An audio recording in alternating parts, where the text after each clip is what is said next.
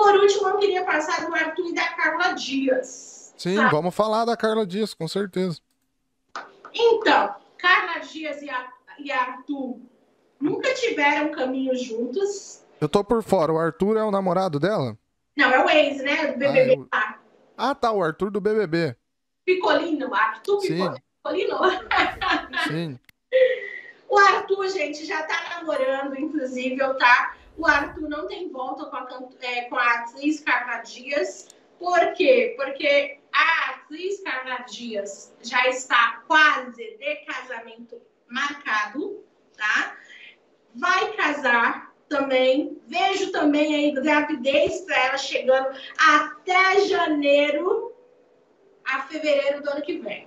Para a atriz Carla Dias tiveram né, um pequeno romance aí lá no BBB, e, aonde a avó teve a oportunidade de abrir os búzios para ela e olhar que nem o Arthur e nem a Carla Dias tinha nenhuma é, contato de chama gêmeas ou alma gêmea junto. Eles não eram para um ficar com o outro.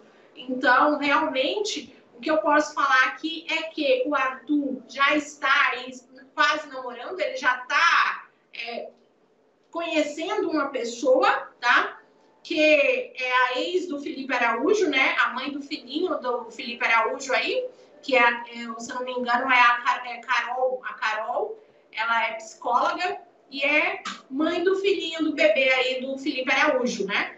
E o Arthur Picolini está com a Carol. E a Carla Dias já está lá com o moço também, se eu não me engano, se é deputado, não sei, enfim.